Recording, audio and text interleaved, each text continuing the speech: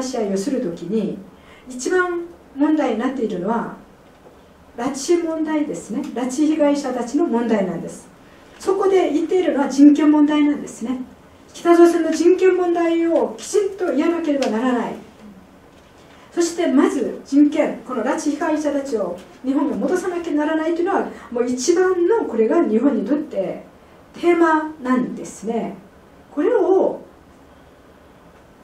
封じ込めたいわけですね。だから日本はそれ言う資格ないよと。北朝鮮に人権問題を言う資格はないよと。それに比べると日本はどれだけ残虐で野蛮な行動をしていたのかというここを言ってるわけですね。つまり慰安婦問題とこの徴用工問題。これは日本がいかに野蛮であ理解的なそしてまあ、残虐な人たちなのかということなんですね。これを世界に広めてしまってるんですよ。すごい活動ですね。だから本当に世界ではもう日本がね日本人というのはもともとこの血の流れが残虐で野蛮な民族だということを根付いてしまっているんですね。ある、まあ、これは普通の人だったんですけれどもあの北欧スウェーデンスウェーデンの人でしたね。の人若い人だったんですけれどもこの方が韓国に行ってあの、まあ、1年か2年ぐらい、えーまあ、暮らしているんですがこの方は韓国で生活しながらずっと YouTube でね発信してるんですね、まあ、面白いから私もたまにこう見るんですけれどもあのそれによるとねこの方言ってるのはねこんなこと言ってるんですよ。皆さんね韓国ではねスウェーデンこうっていうのはねスウェーデンってとってもねいいとあの大変なね福祉国家でもあるしまあ夢のような国だっていうことを言われるけれども実はそうではなくて韓国がいかに素晴らしい国なのかということをね盛んに言うんですね。そして韓国は本当に素晴らしい国だしそしてアジアの中でも韓国が最も素晴らしい国で人間らしく生きていく国なんだということを盛んに話をしてるんですね。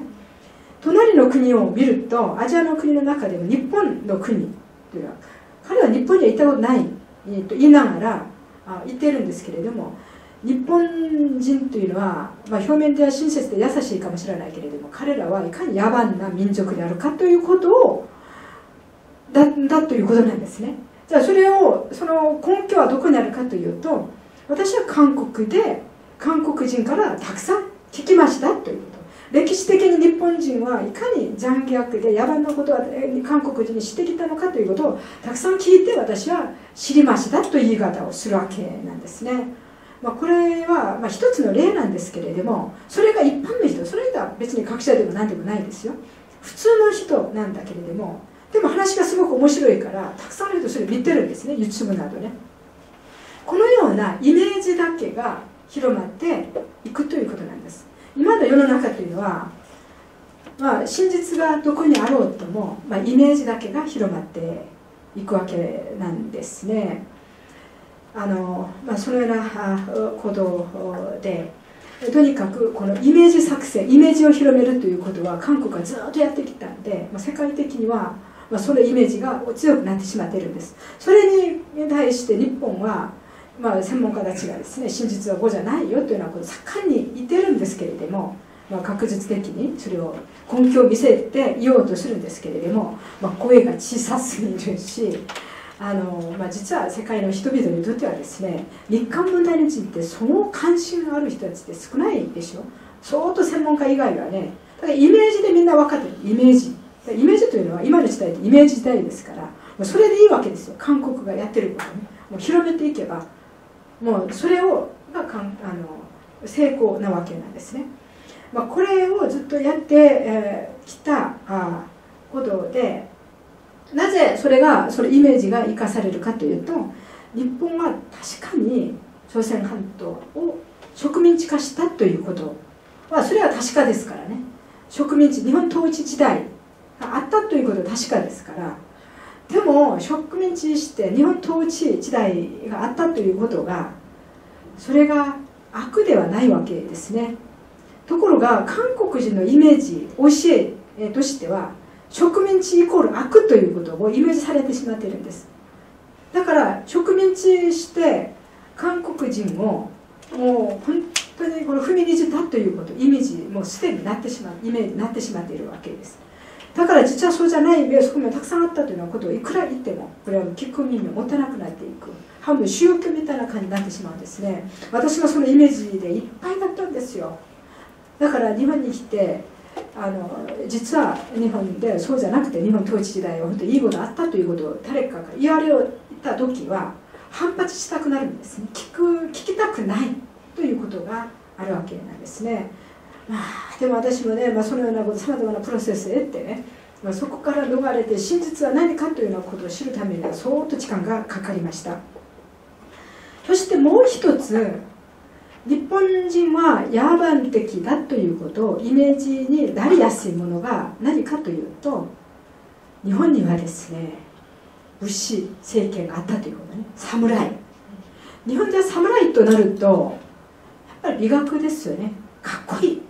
そしてこう侍精神となるとねまあまず潔いとかですね。まあかっこいいですね。で粋だとかですね。そういう美学になっているんですね。その、まあ、そこには倫理道徳というようなことをたくさん語られたりとかするんですけれども同じその日本で武士時代、えーまあ、日本で言えば鎌倉時代からあ、まあ、江戸時代まで。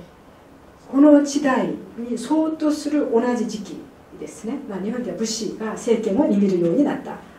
この時代、まあ、明治時代までも相当するんですけれども約500年間500年以上朝鮮半島では朝鮮時代でした。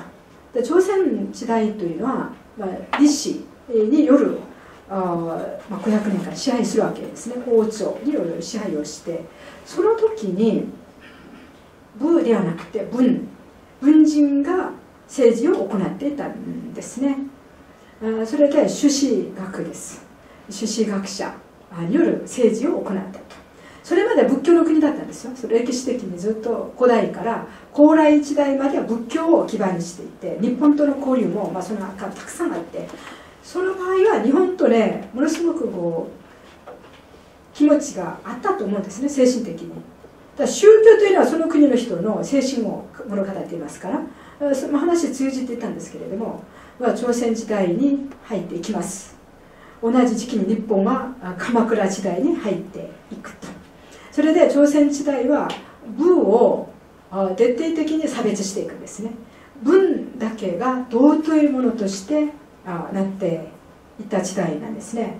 だから文人によるあの支配と文が先であるということですね。文だそれで文治主義。だからあ文を大事にしたということは特に、まあ、儒教朱子学。学問ということ。学問をする人が偉いんだということになっていくわけですね。それで学問学問学問ということになっていく。それであの朝鮮半島は文を大事にしていったということに比べて日本ネットを見るといかがですか？もう中日本の中世というのは戦国時代でしょもう彼らはねもう武士たち刀人殺しをしてるんだということなんですね。長い間我々はですね人殺しというのはその地位を刀を使うことを一番嫌っていた。武というものは野蛮人だと思っていた朝鮮なのに隣あの島ではですね彼らはもう野蛮的なことをやってるんだというね。これが大変なんですね。だから面白いことにね話は全然飛んでしまって申し訳ありませんけれども。最近ある方からねあのこんなこんなことを勧められたことあるんですね。あの方はね刀が大好きですごい刀をたくさん集めているそうなんですね。でね大先生刀研究したらどうですかって言われたんですね私もあんまり意外だったのでへっと思ったんですねところが日本の刀にはね面白い美学がたくさんありますよと言われてしかし中国人と韓国人は刀というのは癒し物とされているから刀を研究する人いないですよということなんですねなのでだから価値があるから私に刀を研究したら面白いよって言われたことあるんですけれども刀となると野蛮人的なイメージなんですね。武器なんですから人殺しということこれがねずっと根付いてしまっているんですね。だから今日本人を思う時日本人は武器が好き戦争が好きな民族だというイメージになってしまってるんですね。だから彼らは血の流れというのはもう武士なんですよ。武士の精神が彼らの血の流れに流れている。だからいざとなった時にかつては刀だったけれども今は軍国主義なんですね。この軍国主義が何をしたのかというと、まあ、朝鮮半島も支配した、ね、朝鮮半島を侵略したという言い方をするんですね。韓国では受け身系があまりありません。なので発想言う時に大体侵略されたとかいう言い方よりも相手が侵略してきたという言い方になるんです。ほとんどの言い方は能動的な言い方になるんですね、まあ、今日はこの受け身の話じゃないのであれですが受け身だけでもね結構面白い話なんですけれどもとにかく日本が侵略してきたということなんですね。平和で暮らしていた朝鮮民族をですねまあ踏みにじられたというそこは受け身になるんでしょうかね。踏みにじられたというようなことイメージ作りやすいですよ。だから物資によるこの支配。だから彼らは戦後ですねこの平和な時代になって今は彼らはまあ人よお人よしのように見えるし平和で穏やかな人たちのように見えるけれどもいざとなった時彼らはね軍国主義復活するんだというようなこと。これは韓国人にとってものすごく怖いと。いうことなんですね。皆さん信じられないでしょう。韓国人にとって日本人というのはね恐ろしい人たちなんですよ。ということなんですね。そしてそこに加わったのは日本は手段主義だということなんでね。確か会社に行っても日本人はもう会社人回りになっても本当に手段が好きですね。だ個人個人はみんすごく弱いんだとね。確かそうですよ。日本人はね個人個人はあんまりその強いということはあの嫌うんですね。ただ強い人でも個人があんまり強いとねやっぱり嫌がられますよね。だからあんまり自分をこう押し出さないこれは日本人なんですけれども、まあ、集団になった時に、まあ、56人とか集まったり10人ぐらい集まった時に自分があんまり押さない押し出さないでそして和を大事にしていきますからでみんながの考え方話を聞きながら10人の考え方をまとめて自然にこうまとまっていく。あの強いリーダーがいなくてもなぜかこうまとまっていくんですね。このような伝統を日本にはあるわけですね。だからこれがまあ手段になるとすごく強くなっていく。というようなことがあってだから手段主義だということが韓国人のイメージになるんですね。彼らは個人個人は弱いけれども何の力がないけれども手段になった時は恐ろしいよという考え方がここに加わっていくんですね。だからあの軍国主義いざとなった時に彼らは軍国主義を復活するんだというようなことをこれを今信じ込んじゃってるということなんですね。まあこれがあもう一つはこの美学なんですけれども日本人は武士とともに潔い、ね、いかがですか？潔いとなるとねやはりこう美しい美の象徴となりますよね。いかがですか？皆さん潔いあの自分になりたいという、まあ、理想としてあるのではないでしょうかね。少なくともあああの人は潔いね潔くと言い方というのはその人を褒める時に使ったりとかするんですけれども韓国人はね潔いという言葉はあんまりないんですけれどもそのようなことが美学にならないですね。これがね日本人のもう一つものすごく怖いところでもあるんですよ、まあ、ちょっと潔いの代表するお花は何ですかね？桜。でしょ？日本人が皆さん桜の花きれあの好きですよね。なんで好きですか？女女性の方。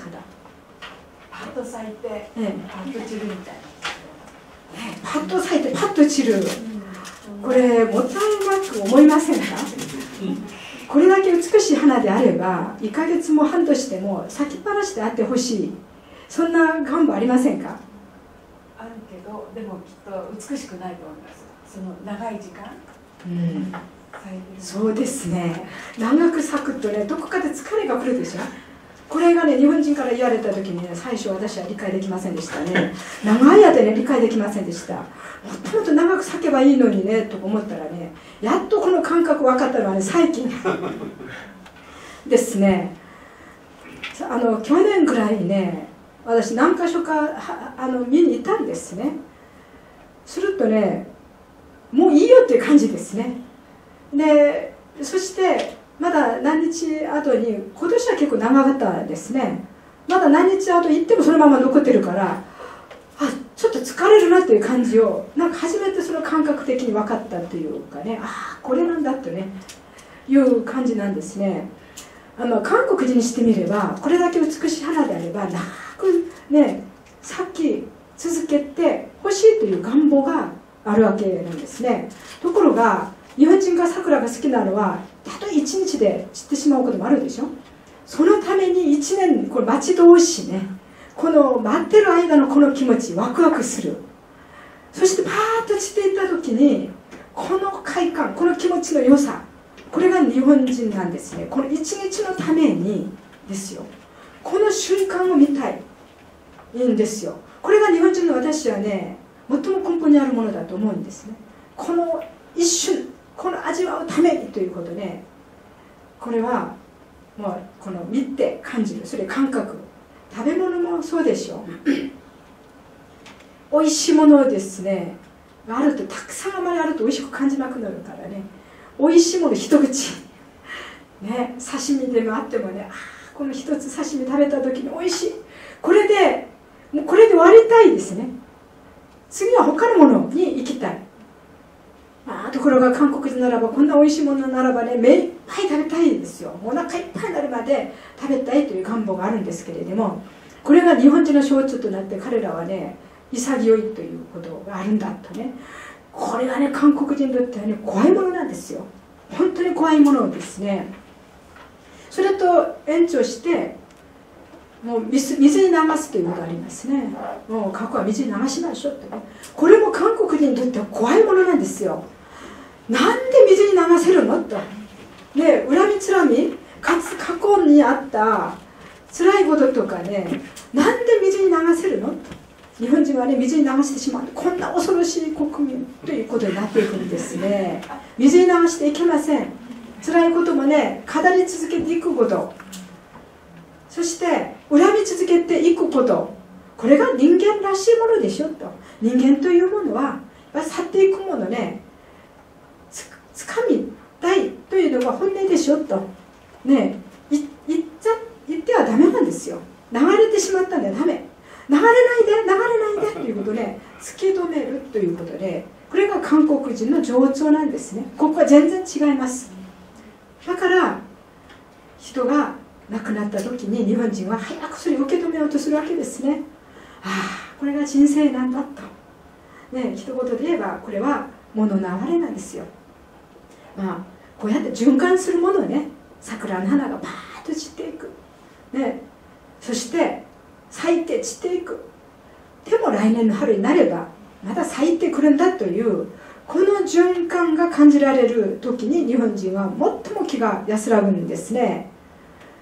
だから例えば人が亡くなったとしてもでもねどこかで辛いんだけどもうこれも人生がしょうがないねというと受け止めようとするこれ受け身の文化の日本人はね。